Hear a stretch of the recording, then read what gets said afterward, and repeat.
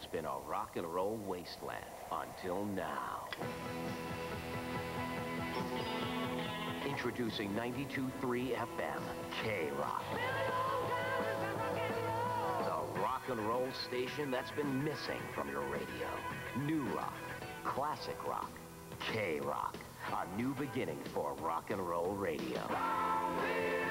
92.3